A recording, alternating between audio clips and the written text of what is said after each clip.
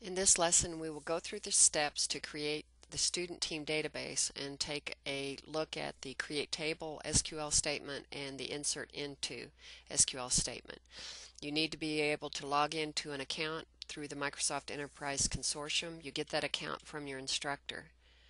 So you will log in and if you haven't already done so you need to follow the steps shown here and create the student team database and populate it with data.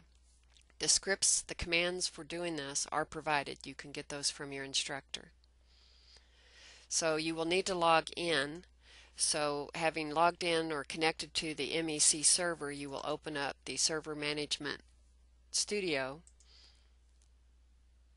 and you'll select databases and expand that and move down to your account. So don't try to connect to the example shown here, but find your particular account. So when I look at this account, I have no tables other than a systems tables folder.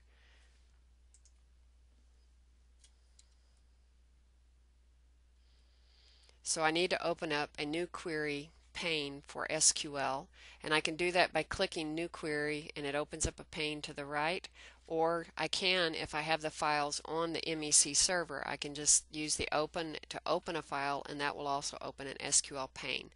I'll be using a notepad file and copy pasting commands so I will use the new query to open up a pane for SQL. Then I will open the notepad files as I need them. So I'm going to open up the create table script and it's in a file that has several comments that you should take time to read.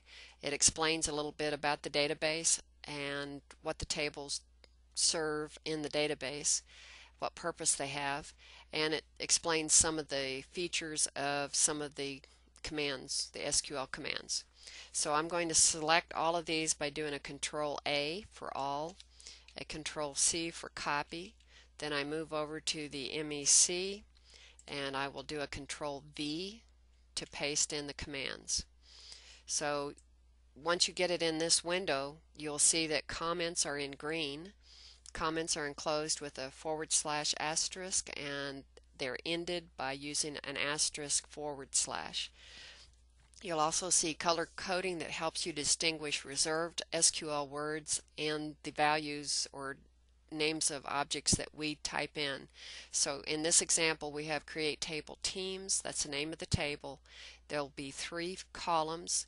Each one is a variable character which allows uh, letters and numbers. Two of them are required, one of them is not required and they have different lengths.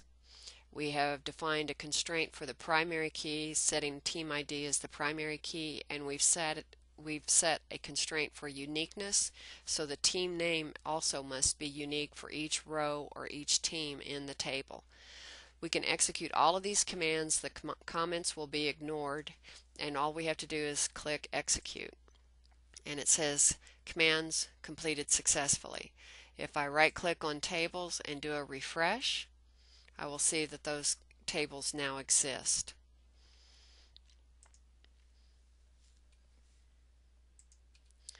So again, be sure that you look at this file and look at the commands. You'll use those when you do an assignment to create tables.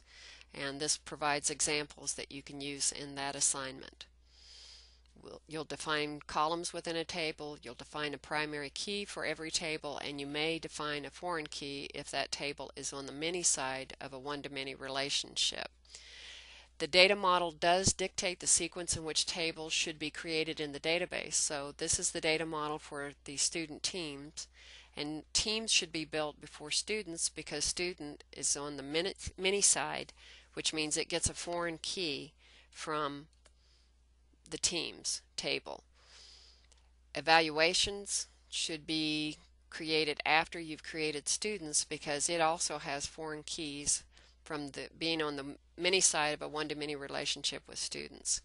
Eval items, evaluations need to exist before you create eval item scores.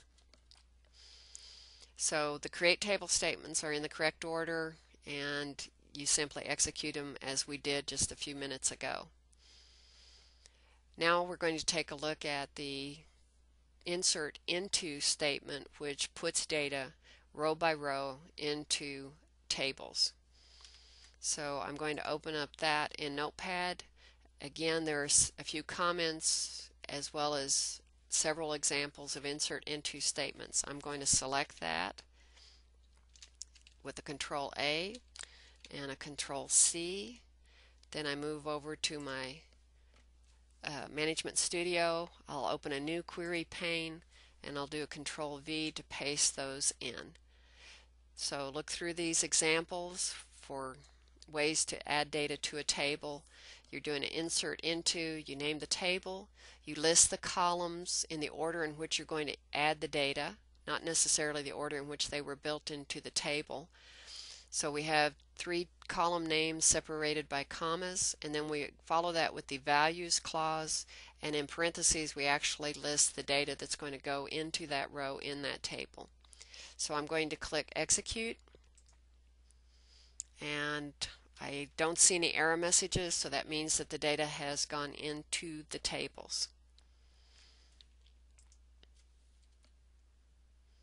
So in the insert into you specify the team name you spec or I'm sorry the table name and then you specify the columns you're going to populate and then you add after the values uh, command the actual data values to be inserted. So now you have your your student team database. Uh, if for some reason you've encountered problems or if you just want to go back through the steps again, you can drop these tables. A script for doing that has been provided. You can also have uh, the Management Studio generate those commands for you. You can right click on a table, select script tables as and drop to and have it add that command to a new query window. So you can actually get the Management Studio to generate the code for you, but the script for dropping all those tables has also been provided.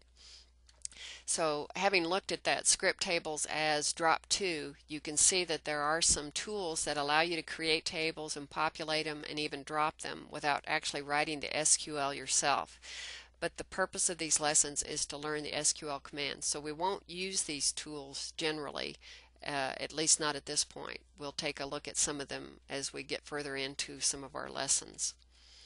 So in this lesson you created the student teams database in your MEC account.